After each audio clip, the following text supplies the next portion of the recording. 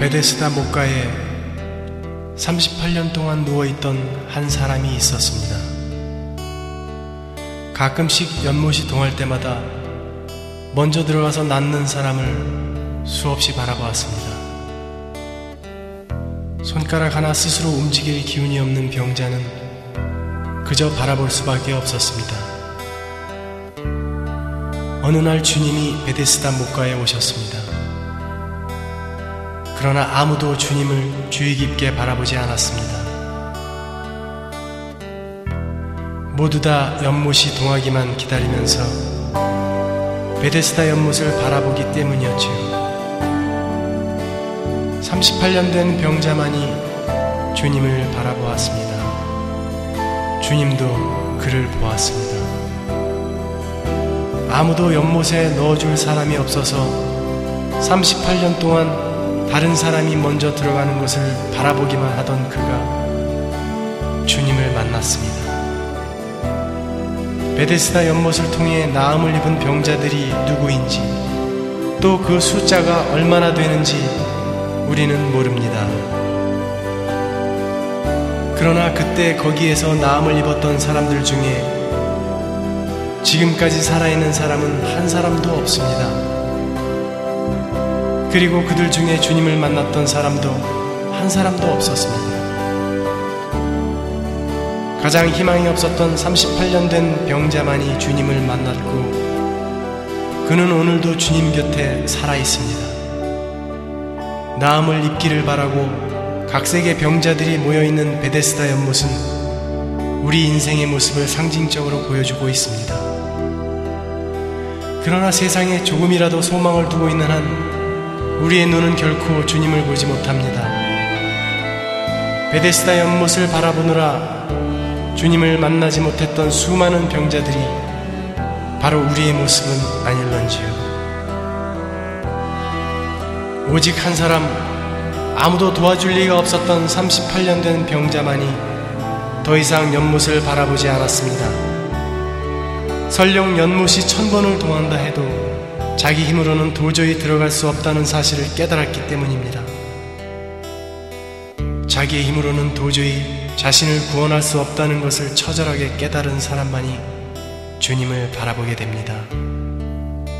그리고 그 사람만이 주님의 눈에 보입니다. 자기 자신에 대해 철저히 절망한 사람에게만 주님의 음성이 들려옵니다. 내가 낫고자 하느냐? 내가 구원을 얻고자 하느냐? 내 죄를 사함받고자 하느냐? 그렇습니다. 인간은 누구라도 자기 자신의 힘으로 죄악의 사슬을 끊을 수 없습니다. 인간은 누구라도 자기 자신의 힘으로 사망의 사슬에서 벗어날 수 없습니다. 우리를 지배하고 있는 죄와 사망의 법칙에서 스스로 벗어날 길이 없다는 사실을 깊이 깨달은 사람만이 눈을 들어 주님을 바라봅니다. 베데스다 목가에 모여있던 수많은 병자들 중에 오직 한 사람, 38년 된 병자만이 주님을 만났습니다. 주님은 병든 자를 불러 건강케 하시는 의원으로, 죄인을 불러 회개케 하시고, 사망에 빠진 자를 불러 거듭나게 하시는 구원자로 오셨기 때문입니다. 죄와 사망의 사슬에 매인 것을 깨달은 사람, 그것을 스스로 끊을 수 없다는 사실을 발견한 사람, 아무도 도와줄 사람이 없어서 절망하는 사람, 바로 베데스다 목가에 오셨던 주님께서 찾으시던 사람이었습니다.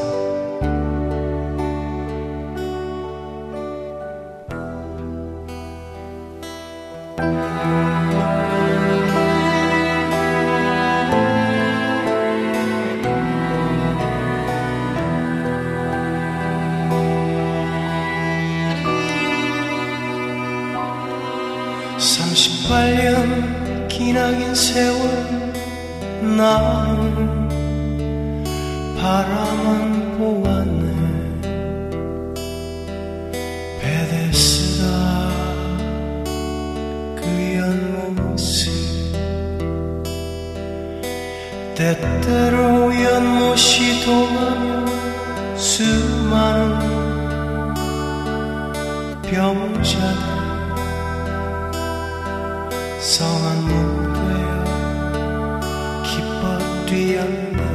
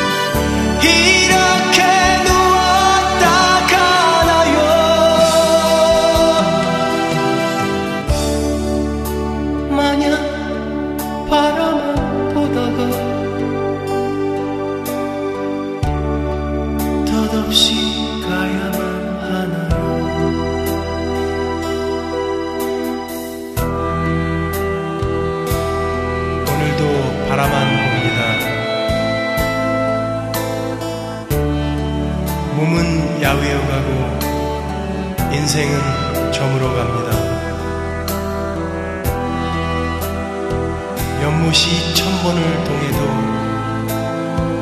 나는 못 들어갑니다. 그저 바라만 보겠죠. 어느 날 한 분이 오셨네 그분이 나를 보셨네